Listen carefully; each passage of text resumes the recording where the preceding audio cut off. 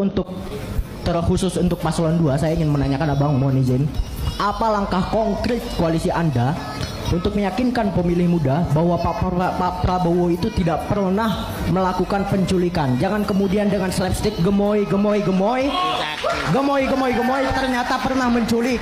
Gemoy gemoy gemoy ternyata memilih cawapres dari hasil pembajakan konstitusi. Jangan kemudian gemoy gemoy gemoy dia pernah menjadi bagian dari sejarah kelam reformasi 98. Terima kasih, Bang. Suara anak muda itu.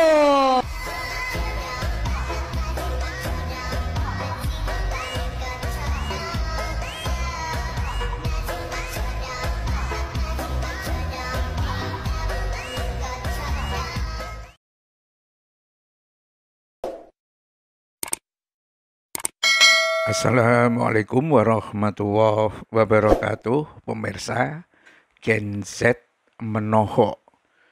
Gen Z yang selama ini diidentikan dengan yang suka gemoy-gemoy oleh paslon nomor 2 atau tim kreatifnya atau tim kampanyenya malah justru muak dengan gemoy-gemoy itu dan meminta para tim dari paslon nomor 2 ini uh, memberikan jawaban berkenaan dengan masalah culik menculik. Prabowo coba ya bikin para gemoy itu gagap nggak bisa berbuat apa-apa ya. Gemoy gemoy gemoy eh ternyata terlibat penculikan. Gemoy gemoy gemoy gemoy eh terlap ternyata terlam, uh, terlibat dalam pembajakan konstitusi. Gemoy, gemoy, gemoy, eh ngakalin MK. Ya, jadi gemoy itu hanyalah baju yang diterapkan kepada atau bungkus yang memang disediakan supaya orang melupakan tentang jejak digital, jejak sejarah kelam. Apa dong jawaban paslon nomor dua itu? Siapkan jawaban kalian. Wah, ini betul-betul menohok atau bahkan pertanyaan ini bisa mencekik leher. Siapa yang bisa memberikan jawaban itu? Ya, dari paslon 2 itu. Ya, itu didengar ya. ada yang mengatakan pengen dengar langsung dari Pak Gemoy. Ya, pakai gebrak meja gayanya ya Nah ini ada Ridwan Nasution ini mengatakan berat banget kadermu mengangkat paslon 2 di setiap diskusi anak muda Mas Agus Yudhoyono ya. Nah, kalau dilihat kisahnya tempo hari itu sebetulnya bapaknya Agus Yudhoyono itu SBY adalah salah satu tokoh yang terlibat untuk mencopot pangkat yang ada di Prabowo ya karena persoalan ini gitu loh. Jadi bagaimana bisa mereka mengangkat ini? Jadi akhirnya kan plonga-plongo kan betul-betul gak siap dengan uh, pertanyaan yang spontan dikemukakan oleh Gen Z ya yang dianggapnya tidak peduli dengan sejarah kehidupan bangsa tetapi rupanya dia sudah googling semua tokoh ini siapa sebetulnya Prabowo Subianto, siapa Gibran yang sekarang ijazahnya uh, terus menjadi persoalan ya dan ternyata dikuras isi otaknya oh memang agak kosong ya ada yang konslet atau apa. Jadi maaf ya kalau sekarang mungkin miring-miring otaknya miring-miring kepalanya dia miringkan sendiri Jangan-jangan ini efek dari apa yang ada di dalam gitu. Kita tidak tahu. Nah, tapi dengan pertanyaan pertanyaan dari Gen Z ini ya kandas sampai ke akar-akarnya ya. Gimana itu gemoy-gemoy ya.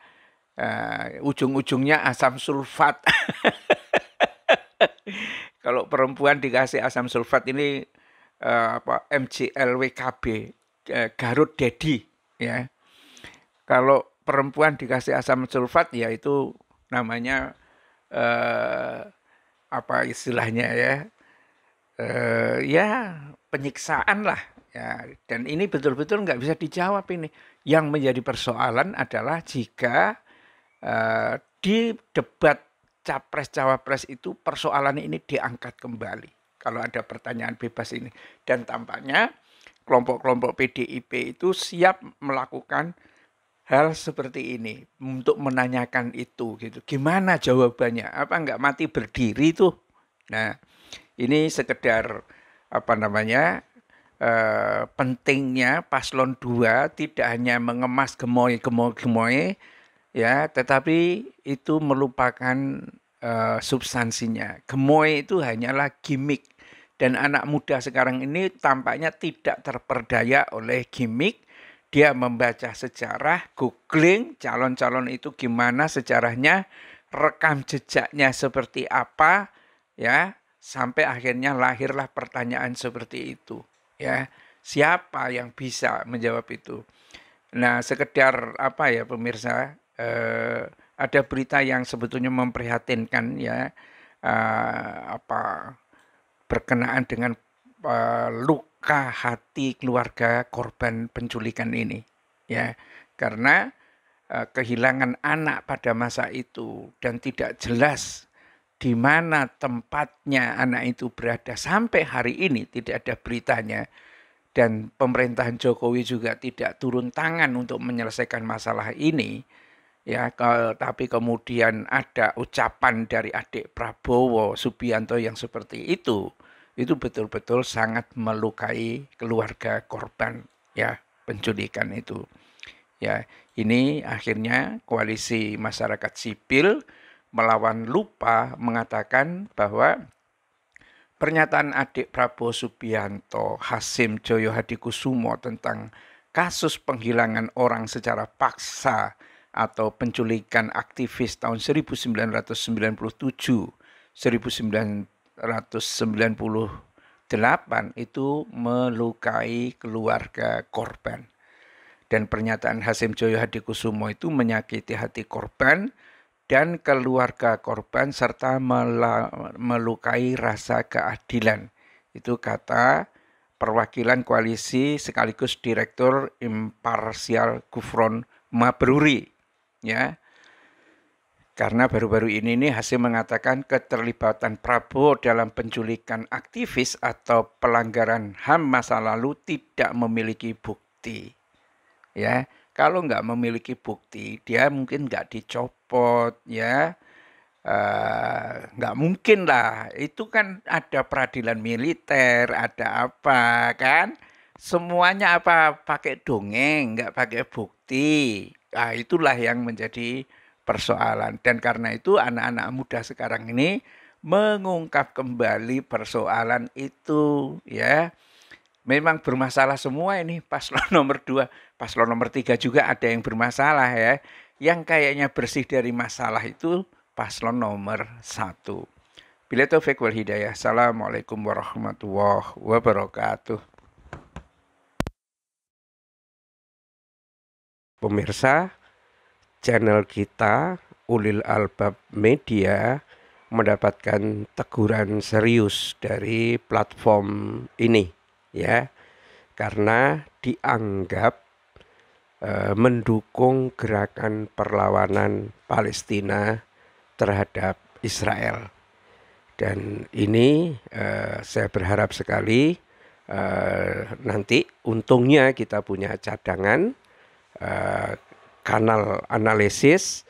Saya berharap sekali pemirsa bersedia untuk subscribe, uh, kemudian juga share dan like, dan uh, nanti konten-konten uh, berikutnya akan banyak kita fokuskan atau konsentrasikan di kanal analisis. Uh, Ulil Albab uh, Ulil Albab Media sendiri tidak di take down penuh tetapi ya ini tampaknya juga terkait dengan bisnis-bisnis korporasi besar yang tampaknya dimiliki oleh uh, pendukung Israel yang uh, mempunyai reaksi negatif terhadap uh, lawan-lawannya Israel.